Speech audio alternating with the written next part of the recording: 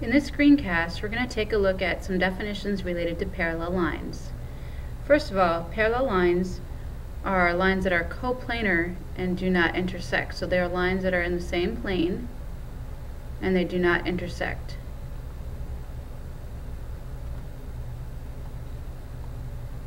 In this box, we can see that there are several lines that are coplanar.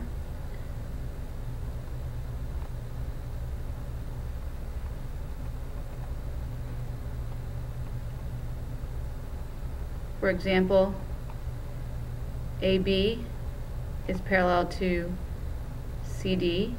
Notice they're going from the front of this box to the back of the box. That's one pair of li lines that is uh, that are parallel. Another pair would be DH and BF, going from the top of the box to the bottom of the box. And another pair would be uh, FG and AD. Now you might not think that they're coplanar, but you have to picture a plane slicing through the box on the diagonal. So they are parallel. They're going in the same direction, left to right, across the box. So AD and GH, excuse me, GF are parallel segments. Okay, then we have uh, skew lines, and skew lines are lines that are not coplanar,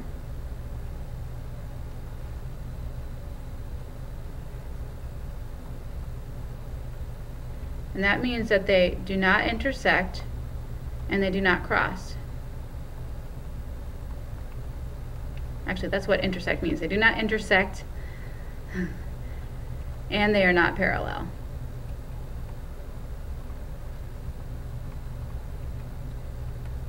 And this is a symbol for parallel. So for example, BC and DH would be skew. BC is going from the left to the right side of the box and DH is going from the top of the box to the bottom of the box. So th that's an example of some skew segments there. And the parallel planes, um, the definition is similar to parallel lines. Parallel planes um, are planes that do not intersect.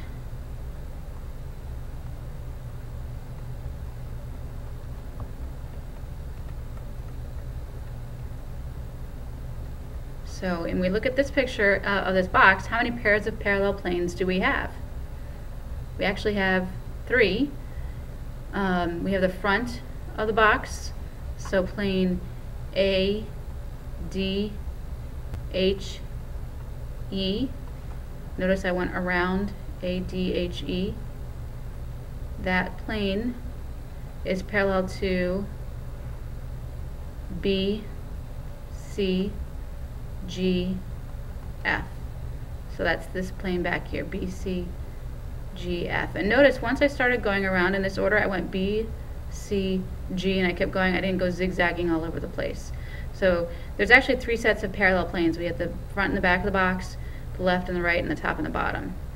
All right, so let's take a look at some other vocabulary related to parallel lines. Here, notice we have two lines, A and B, and they're being cut by this third line labeled with a T. And that T is an example of what's called a transversal. Trans means across. So a transversal is a line that cuts across two or more lines. We could say cuts across or intersects.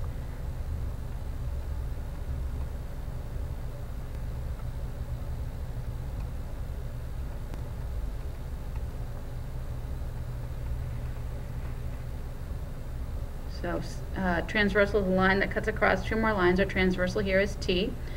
Um, and when we have this happening, notice we have eight different angles that are formed, and they're numbered here 1 through 8. Um, and these angles occur in pairs. We have angles that are called corresponding angles. Example of pair corresponding angles here would be angles 1 and 5. 1 and 5. Another pair of corresponding angles would be uh, 2 and 6. Another pair of corresponding angles would be 4 and 8. And then the angles that I haven't marked, which are angle 3 and 7, would be our remaining pair of corresponding angles. Corresponding angles are basically angles that are in the same location relative to the two lines and the transversal. So they're in the same location relative to the two lines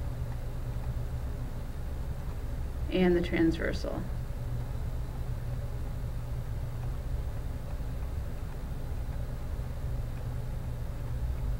So for example, the ones I circled here in yellow, um, number angle 1 here is in the top left of this group of four angles, and angle 5 is in the top left of this group of four angles. So they're both in the top left.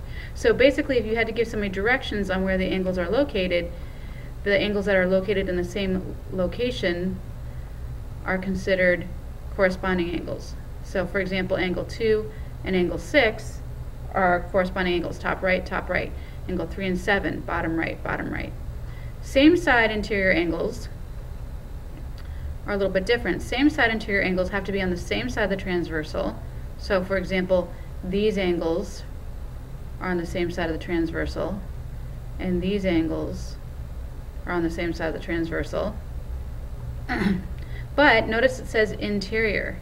Interior means they're between the two intersecting lines. So one pair of same side interior angles here is angles 4 and 5.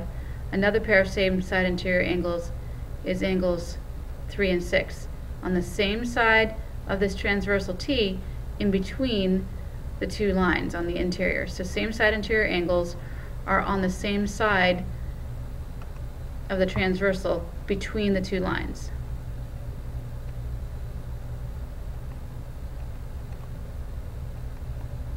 On the same side of the transversal between the two lines.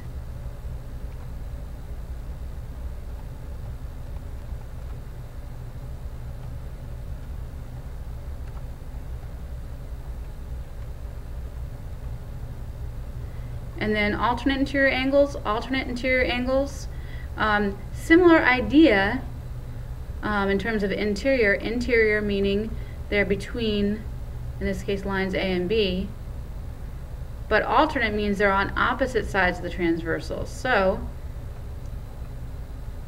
if we take a look here, angle 4 and 6 would be one pair of alternate interior angles and angles 3 and 5 would be the other pair of alternate interior angles. So alternate interior angles are on opposite sides of the transversal interior between the two lines. So on opposite sides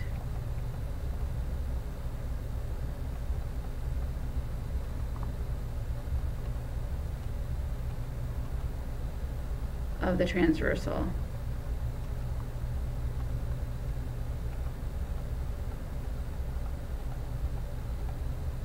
and between the two lines.